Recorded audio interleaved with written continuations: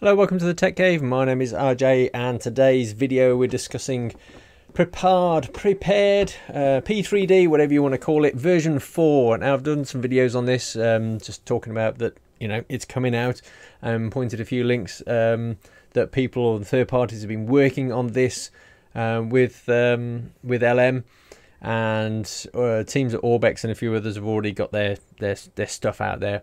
Although there's a lot of stuff that's incompatible at the moment, but it's all mainly aircraft. So if you can look uh, on this um, this, uh, I've just got this paused at the moment.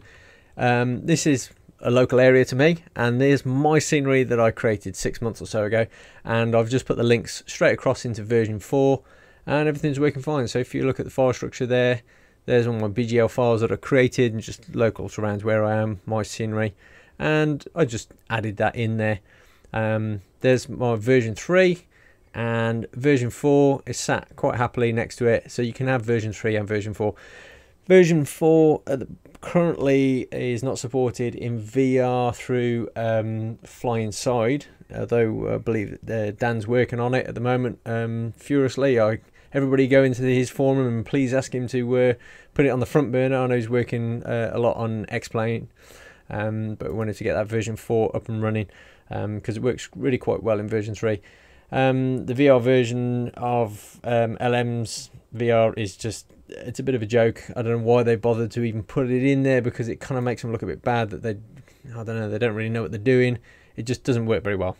Um, when you compare it to FlyInside, which works amazingly well, um, and that's just like one little small independent developer.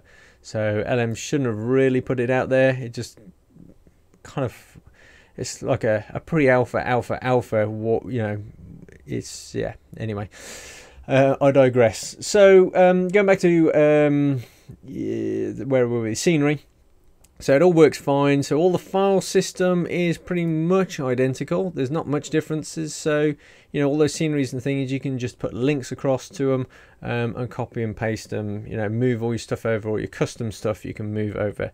The things that are not going to work um, are things like your airport side of things or you know uh, things that create uh, that need the um, dynamic link libraries and things like that and the aircraft so those are the things that have really got to be updated to work with the 64-bit version.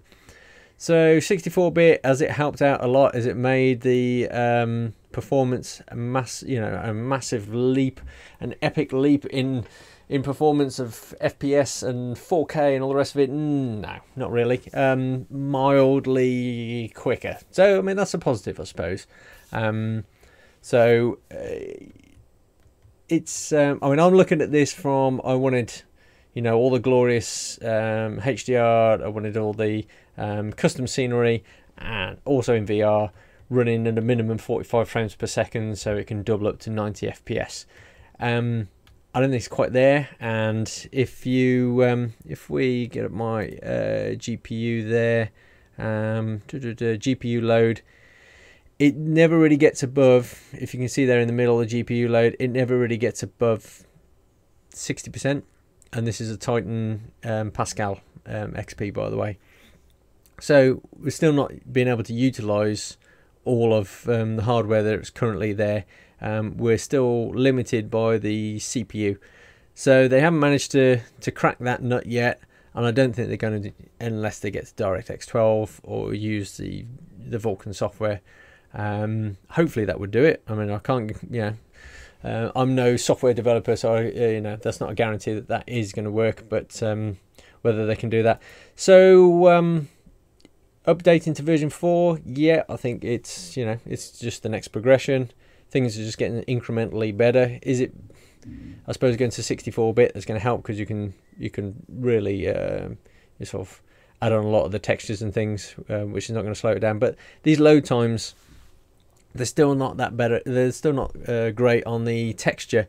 I'm still getting when you're flying over things, you can still see the textures sort of resolving as you as you're sort of coming over them. Whereas when I've done custom uh, scenery in X-Plane, doesn't doesn't seem to happen as much. Um, I mean, it looks great, looks okay up here, but you can see. I don't know if you just see to the top left of the wingtip there, it's all blurred out, so that that load distance um, sort of disappears and then you kind of get a bit closer and then it starts to reappear again so yeah there's you know the, the trees they've updated the trees that looks good um, but we're still limited with this um, CPU business so there we go. Um, if you're if you're thinking of buying a, a flight simulator and you're not look, looking for something like a specific airfield or a specific plane type that you want to fly because um, you know the, the from the Microsoft legacy you can get so much from this sort of simulator you may be better off looking at um, X-Plane potentially there's a, a, a limited more limited scope of um, airfields, um, although they are becoming more and more every year.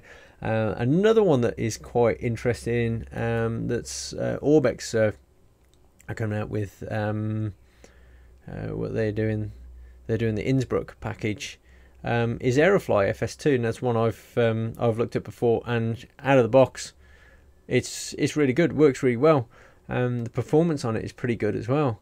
Um, so they may be work, you know moving in the right direction. So if they start coming out with more of the airframes, uh, you know variants of ple- for people to fly, and the you know, the um, that gets a lot more momentum behind that, then that may be the future. Um, uh, an X-plane. So I don't think unless unless LM really sort of push out the um, DirectX 12 or Vulkan, I don't think that you know they can really push it that much further for the next sort of 10 years plus. So, anyway, um, I'm digressing here yet again. We're going back to um, Prepar3D.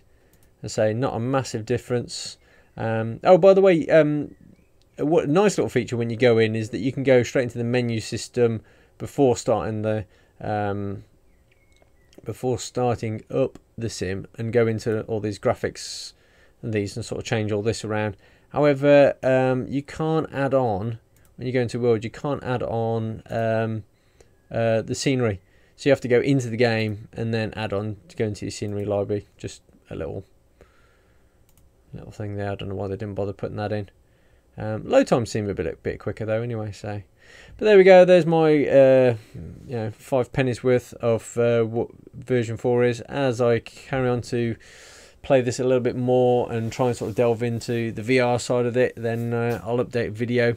If you've got any comments, or got any questions just regarding version 4, then post them in the comments below and I can uh, either answer them there or do an update video and um, put on anything uh, that you request for a version 4 update.